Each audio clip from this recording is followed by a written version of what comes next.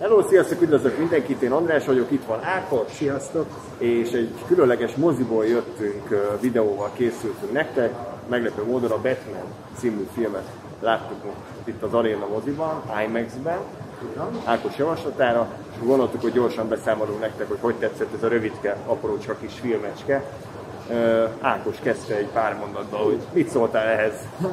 Ez mindig nehéz, ugye, a dőnénél is megszokhattuk, hogy nem azt mondtuk, a, talán a moziból jöttünk be, mint amit az adásban végül, igen, mert eltelik az idő, aludni kell egyet. Nagyon hosszú volt, így nagyon tömény adatba kaptuk a batman de részemről én pont ezt vártam, amit a filmben láttam, amit, amit átadott a film, iszonyat erős hangulata van, nagyon jó Batman film, nagyon jó thriller, krimi thriller, és komolyan van véve. Tehát ez nem egy gyerekfilm, azt nem megállapíthatjuk. És ami a legfontosabb, hogy Matt Reeves-nek ez egy szerzői filmje. Én ezt tudom erről, ezt tetszett leginkább nekem, hogy ez is egy szerzői film, és abból egy nagyon erős szerzői film. Én szerettem benne mindent, kivéve a hosszát kicsit problémásnak találom, ott talán egy ilyen 20 perc, de ahogy beszéltük is, nem tudom, mit lehetne vágni, mert kompakt a sztori, végig van víve, nincs benne üres de mégis valahol... Érzésre azért érzésre. hosszú. Igen. Aha, érzésre és, hosszú. És ez szerintem az újranézéseknél ez majd egy probléma lesz, hogy így hogy ezt lehet, hogy most nem akarom előre lehúzni, de lehet, hogy ez inkább nagyobb probléma lesz majd, hogy, hogy, hogy, hogy, majdnem három órás, ugye a film, tehát 170 Igen. perc fölött van. Nekem röviden az a véleményem, hogy kb. mint a dűne volt így elsőre, hogy egy nagyon atmoszférikus, nagyon hatásos, egyébként szerintem lassú film, nem? Tehát kimondhatjuk, hogy a Batman... Nagyon lassú, igen.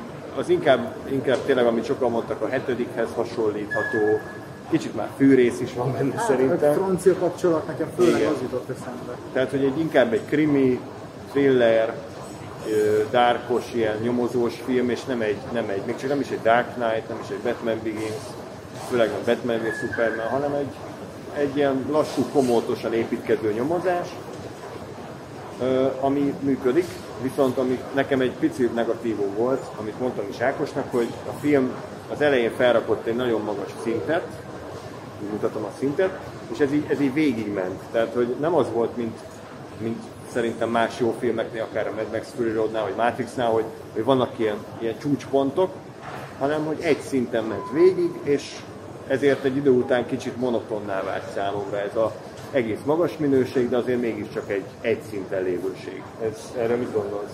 Egyet is értek veled, meg nem is, mert nekem pont ez az egyszintűség, ez, hogy a film az első félre betárazta magát, mm. és utána így, így végigvitte ja. azt, amit akart. Voltak benne szerintem frenetikus, ilyen ilyen hullámok, tudod, amikor így wow, ez micsoda jelenet volt, ja. illetve hát ar- arról is beszéljük, hogy milyen fényképezése van ennek a filmnek, és milyen zenéje. Igen. Itt az IMAX nem a szétroppan ettől az egésztől. Igen. Eszméletlen brutális hangereje van ennek a filmnek, és eszméletlen brutális a, az ereje, amikor a Batman megjelenik, vagy bármi. Igen, ilyen azok nagyon erős pillanatok, igen, igen. Abszolút, tehát, hogy főleg egy Marvel filmhez összehasonlítva, ami egy ilyen tucat munka, mondjuk, bocsánat, a No Way Home, vagy ugye Captain Marvel, hogy bárki rendezhette volna. Ez egy nagyon erősen szerzői rendezés, és látni, hogy minden egyes képkocka az, az ki van találva, meg van alkotva, be van világítva, tehát egy nagyon, nagyon képregényes egyébként, de hát ez nem szégyen, hiszen képregényfilm. Tehát nagyon kitalált az egész, és emiatt uh, magabiztos. Igen? Jó? Jó, csak, hogy Igen, csak annyit mozgok. Igen, megye még a kamera. Igen, a, a zenét azt én már mondtam, nekem annyira azért nem átütő ez, tehát most hát mindenki... Négy akkordra van felépítve, vagy hát négy billentyűre van felépítve hát az egész, igen, igen. Nekem kicsit az a bajom, hogy, hogy olyan, mint egy normál témának a, a harmada, vagy a, vagy a fele. Hát, tehát, hogy így, ezt tetszik benne. Hogy így várom, hogy na, akkor mikor indul be, és nem indul be, mert ez már az. És akkor így jó. És ugyanazt variáljuk. De Ákosnak tetszett, tehát ezzel nincs baj. Ez is egy élmény, bár az a, az a, az a rajzszín az olyan néz ki. Isten, a kisvók három körülbelül az néz ki. Nem tudom, miről beszélünk még. A, azzal szerintem nem volt baj, hogy ennyi fő gonosz volt, mert ugye a filmnek van elég játék ideje, hogy ezzel gazdálkodjon, tehát nem volt ilyen pókember három szintróma szerintem. Hogy ez... Hát, lényegében egy főgonosz van a filmnek. Hát gyakorlatilag igen, uh, többiek mellékszerep. Így van. Viszont az az egy főgonosz, a Oldeno Rébusa, az pedig jó, ilyen nagyon, nagyon király. Akár még egy ilyen Fincher filmbe is elmenne tényleg, mert olyan, olyan karaktert adott, és az olyan uh, nyugtalanító volt, amikor Igen. a képernyőn volt, vagy éppen nem volt a képernyőn, csak hallott, hogy szuszog és ott van valahol. Uh, szerintem nagyon jól uh, Hát a Jim Carrey után nagyon érdekes rébusz.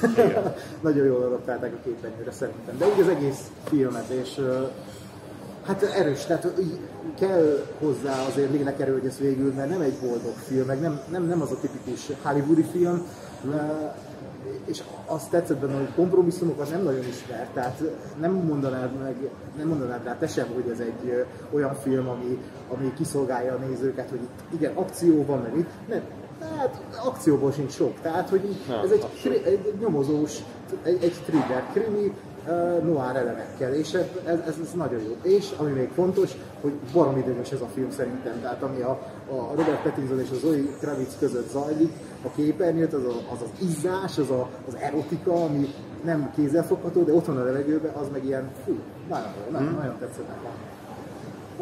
Ja, úgyhogy én még emésztem a filmet, mert ez is olyan, hogy most éppen kijöttünk, de ez a moziból jöttünk varázsa, hogy azért kicsit másképp látjuk majd, mint az adásban.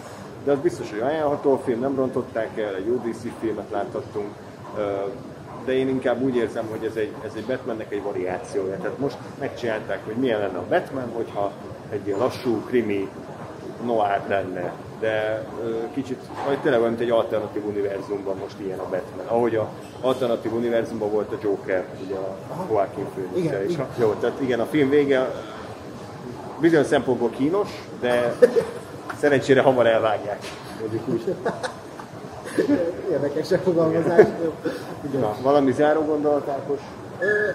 Remélem, hogy nagyon sokan megnézik ezt a filmet, mert Igen. megérdemli a, a sikert, és amikor bejelentették, hogy készül újabb Batman, még amikor ugye Ben Affleck rendezte volna, akkor nyomtam egy uh, facepalmot, hogy fiatalosan fogalmazzak de, de most úgy érzem, hogy, hogy ez azért, tehát ez, ez, ez film, tehát ez a film. Mm. Uh, és ez tök jó, hogy egy x Batman filmnél is még azt tudom mondani, hogy wow, ebben még van új, bele tud tenni egy, egy művész valami mást, úgyhogy várom a folytatást, ha lesz, ha nem lesz, az se baj, mert ez egy, egy ilyen nagyon kerek történet.